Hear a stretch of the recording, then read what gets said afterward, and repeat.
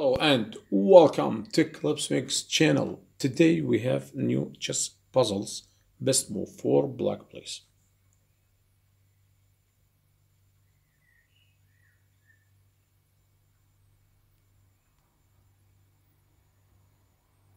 Okay, I think the move is check. Yes. Next one. Come on. Ooh. A3. Pawn to A3. Okay. Um. Oh, this is easy. Yes.